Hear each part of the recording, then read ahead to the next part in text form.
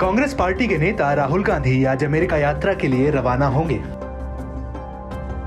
Rahul Gandhi Stanford विश्वविद्यालय के एक कार्यक्रम में भाग लेंगे और 30 मई तक भारतीय प्रवासियों से भी मिलेंगे। वहीं जून की शुरुआत में Rahul Gandhi San Francisco, Washington DC और न्यूयॉर्क में कई कार्यक्रमों में भाग लेंगे।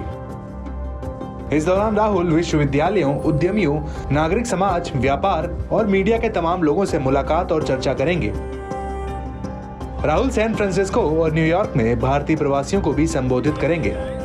इंडियन ओवरसीज कांग्रेस के कार्यकर्ता अमेरिका में राहुल गांधी के भव्य स्वागत की योजना बना रहे हैं। अभी से वहाँ पर राहुल गांधी के स्वागत की तैयारियाँ शुरू हो गई हैं। राहुल गांधी की यात्रा का उद्देश्य अलग अलग लोगों, संस्थानों और मीडिया के साथ जुड़ना और बातचीत करना है। इस लिस्ट में भारतीय मूल के लोग भी शामिल हैं। क्योंकि अमेरिका और अन्य देशों में भारतीय लोगों की संख्या दिन ब दिन बढ़ती जा रही।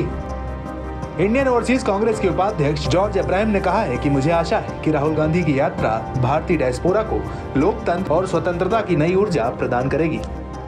आपको बता दें कि इससे पहले इस साल मार्च में राहुल गांधी का लंदन दौरा काफ़ी सुर्खियों में रहा था। कैम्ब्रिज यूनिवर्सिटी में भारत सरकार की आलोचना और देश में लोकतंत्र पर खतरे का ज़िक्र करने के बाद राहुल गांधी बीजेपी के निशाने पर आ गए थे। कैम्ब्रिज यूनिवर्सिटी में बोलते हुए राहुल गांधी ने कहा था कि हर कोई जानता है और ये काफ़ी सुर्खियों में है कि भारतीय लोकतंत्र दबाव में है और इस पर हमला हो रहा है। मैं विपक्ष का नेता हूँ, हम उस विपक्षी जगह को खोज रहे हैं। अब जब राहुल अमेरिका में बोलेंगे तो देखना होगा क्या इस बार बीजेपी फिर एक बार राहुल गांधी को मुद्दा बनाती है या नहीं।